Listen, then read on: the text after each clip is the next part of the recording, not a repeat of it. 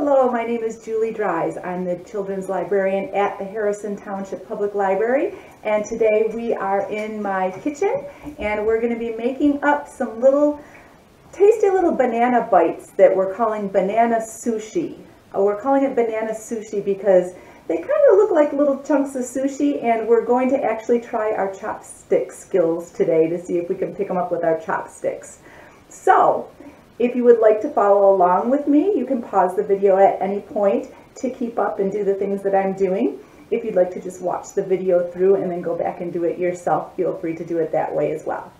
So let's get started. So the first ingredient that you will need for these, obviously you know this by the name of our recipe today, is you'll need some bananas. And you don't want to get them real green, but you also don't want them real brown and spotty because that way they'll be too soft. So try to get some that are just a regular nice yellow color and they should be ready for us to use in this recipe. The next thing we need is something that is kind of sticky. Okay, so I have four things that I'm going to be using today. These are not the only things that you can use. You could use your imagination and anything else you have in your house that you think sounds like it might be good, give it a try. What I have today, the first thing that I have is some nut butter. You could use sunflower butter, peanut butter, almond butter, whatever you happen to like, cashew butter. So I'm using these little cups too. You don't have to have these little cups, but I thought they were kind of the perfect size. So I picked up a little batch of these at the grocery store for this project. The next thing I have is some jam. Um, you can use jam of any flavor, jam or jelly, um, strawberry, raspberry, cherry, whatever is your favorite. The next thing I have here is some hazelnut spread, chocolate spread like Nutella. And I thought that would be very delicious on bananas, so I put some of that in there too. And the last thing I'm going to use today is I have some whipped cream cheese. This is not the hard cream cheese that comes in the block or even the spreadable cream cheese. It's actually called whipped cream cheese and it has kind of a light fluffy texture and it's really easy to spread on your bananas. So these are my sticky ingredients I'm going to use. Feel free to use whatever sounds good to you. The next kind of ingredient that you will need are some things that are going to be the toppings for our banana sushi. These are kind of going to be powdery, crushed kind of things that are going to stick onto our sticky ingredients, if that makes sense. So again, I'll show you what I'm using here today. If you can think of other things that sound good to you, feel free to use anything that sounds delicious. So one of the things that I have here is I just took some of my favorite cereal and crushed it up. I have some crushed pretzels. I have some chocolate chips that were chopped and crushed up. I have shredded, this is um, unsweetened coconut. Um, sweetened coconut tends to be kind of sticky. This is real powdery and I thought this would work a little bit better. I have some chia seeds. Chia seeds are kind of a fun little topping that might be a new thing for you and you could try it out in this recipe if you want to see what they taste like. And you could do whatever you wanted then with some other things. Um, you could do cookies. That would be delicious if you have some favorite cookies that you like. Graham crackers, I was thinking, or even like Teddy Grahams or things like that that you could crush up. Um, those would be fabulous on the, your banana bites. So how do I get everything crushed? You're gonna need to crush your things. So here's a quick little demonstration of how you can crush. Two good ways to do it. Number one, if you have a rolling pin at home, that's really fun to roll and crush. You just put them on a, uh, a board, like a cutting board, put some wax paper over the top and roll it with a rolling pin. Or if you don't have a rolling pin, you could take something like a coffee mug and you can do some crushing. Ready to crush? Here we go.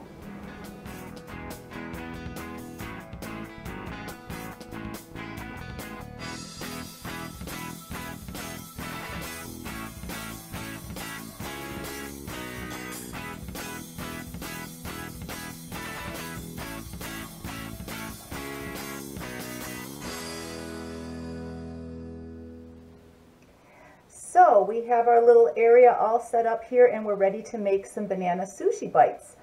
So I've gotten myself a just a butter knife. You might want a couple of these for the different kinds of spreads that you have here. I'm also going to start using my chopsticks even while we're making these. So when you get chopsticks, they are usually, they usually come kind of together and you have to pull them apart. If there's any extra wood slivers, you kind of want to scrape them together and get the wood slivers off because you don't want that in your food. I'm going to leave these here because I have a feeling these will be helpful for us when we're making our banana sushi. I'm going to take a banana and we want to peel the banana and we don't need the peel so we can get rid of that. And then I think I'm going to start with cutting my banana in half. So right about on the halfway point I'm going to cut it. There we go. And if you want your banana bite pieces to be pretty and about the same size, uh, you can go and maybe cut one half in half again. Cut this half in half this half and half and just keep cutting in halves until you get, you know, a real tiny slices, maybe about a half inch thick or so will work. Uh, this one maybe I'll cut into three pieces because the ends are kind of big. There we go. This end is kind of big here too. All right. So you can see that we have all of our little slices now ready to go. And we are going to experiment here, guys. So here's what I thought would be easy. Instead of trying to hold on to the bananas while we're spreading them with our toppings, I thought that it might work to take one of our chopsticks and just kind of put it in the center like that, kind of spear it. See how that works? And then if we take our knife and let's say I want to do, let's start with some nut butter here. I'm going to take my nut butter. We'll get some of this on our knife and maybe that's a little too much. Hmm. We're going to spread it on here, get it all covered and nice and sticky. And then once we've got it covered, we are going to dip it in a topping. So what do you guys think would go well with bananas and nut butter? Which one should we try? I've got it covered here, see? Let's see. How about, ooh, let's try, I'm going to try some of my cereal that I have here. This is this happens to be cinnamon Chex, and I have a feeling that that sounds good. So let's take this and just dip it in, and kind of press it in there a little bit. Okay. And there we go. We have a little bite.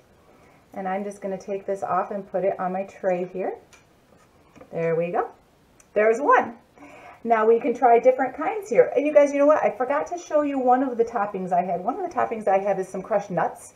Um, if you are if you are able to eat nuts, I thought nuts would be really good on these. If you're not able to eat nuts, that's no big deal.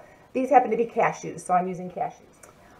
Okay, what kind do we want to do next? I've got another banana on a chopstick here. Let's grab a knife I think I'm going to use a fresh knife here. How about some chocolate spread? Let's take some of our chocolate here, our Nutella. Get a nice good glop of it there. And let's coat our banana. Spread it on there.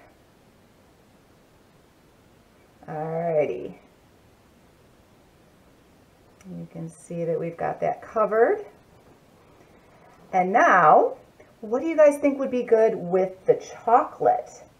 Hmm, chocolate and how about crushed pretzels, chocolate and pretzels? That sounds delicious, doesn't it?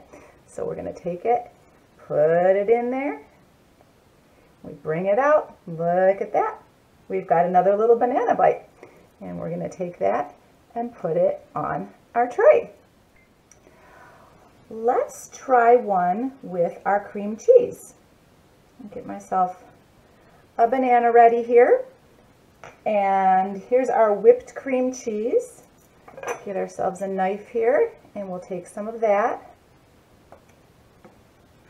Here's a banana and let's spread it. Oh, this one spreads real nicely. This one's pretty easy to work with. We don't want it to be too thick or it'll all glop right off. So kind of spread it around Get some of the sides if you want. some of the top. I think I have a little extra on here, so I'm going to do it on the sides. And on cream cheese, let's see what sounds good. How about some cream cheese with, how about some chocolate? Cream cheese and chocolate. Hmm, that sounds like a good combination. We'll just dip it in there. Get it all nice and stuck on. Ooh, I think I could even get more on there. Put it around on the edges. Ooh, look at that. That one's got all kinds of good stuff on it. All right, we'll add this one to our tray. There we go. Let's try one with our jelly or our jam. Get ourselves one of these guys ready here. Grab ourselves a knife and some jam here. And let's see how this one turns out. The jam is a little bit more runny than the other ones, so we'll see how this goes. Spread it around on here, maybe some on the sides. You don't have to get it all the way around, just enough that you'll get some of those toppings to stick. This is kind of like frosting a little mini cake. I feel like I'm putting frosting on little mini banana cakes. Oops, big glop just fell on my, my board. This one's a little, I think the jam is a little harder to work with. It depends on how thick your jam is. All right, so we've got this. Let's see, what if we put it in some coconut? We'll do kind of a little tutti frutti one here where we've got some fruit flavors and some coconut. Plus I think the coconut's gonna stick to this pretty well. So, dip it in there. Oh, we've got that. Can you guys see that? That looks kind of pretty, doesn't it? All right, let's add that to our tray. Look at how nice they look here. So I am going to keep making some combinations that sound good to me and we'll see what kind of combinations sound good to you. And when we get done, we will try to use our chopsticks to pick them up and eat them and see which ones turned out really good.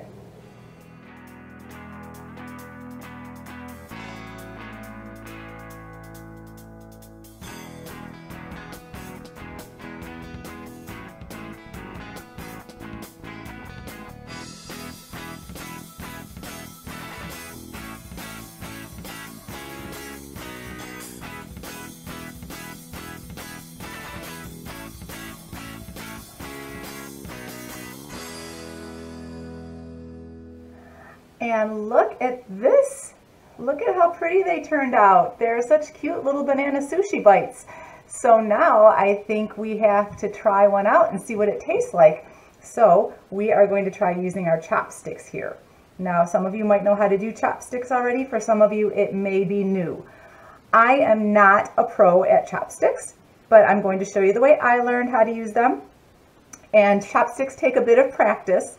So the first thing we're going to do is we're going to use the small end of it, not the big, not the big wide end here. We're going to use the small end. And if you take it here, and I'm left-handed, so you'll see me doing this in my left hand. If you're right-handed, do it in your right hand. So you're going to take our middle finger, and we're going to lay our chopstick on our middle finger, and then just kind of put like that. See how I'm holding it with my thumb and my middle finger like that? Okay. Now I'm going to take the second one, and I'm going to put it on my first finger right there and then hold it between my thumb and my first finger and kind of even these guys out. So now what I can do is when I move my fingers I can move my chopsticks up and down and back and forth. Let's make this one a little longer. Okay, so we're going to see if we can pick up a sushi bite practice a little bit going back and forth and back and forth. See how my top finger is just going in and out like that? All right, now the hard part is going to be to decide which one we're going to try. Let's see, which one should we choose? Make our finger go back and forth and practice opening and closing. Let's try this guy right here. Let's see if we can pick him up. Ooh, that's really good. That was a really good one. Should we try some more? Let's try a couple more. Now, if you're having trouble doing the chopstick thing, never fear. You don't have to eat these with a chopstick. That was just to try to get you to figure out how to use these and have fun with them. If it's too frustrating and you can't pick up the banana bites that way, the banana sushi, just take one of your chopsticks, just like we did in when we were making them, and just put it right in the middle of one and it's more like a little banana kebab then. In fact, you could put a bunch of them on one of these chopsticks and eat them that way. So let's enjoy this one too. Here we go. So that last piece of banana sushi that I had, I had to take the camera off of me to finish chewing it because it was a really big chunk. It was maybe a little bit bigger than bite size. So when you guys cut your bananas, make sure you, you make them into bite-sized pieces. Um, it was delicious though. So that's it. That is how you make banana sushi. So next time you have some bananas sitting around and you're feeling creative, see what you can find in your house that would be a good combination with bananas. Remember you need something sticky and then you need the toppings.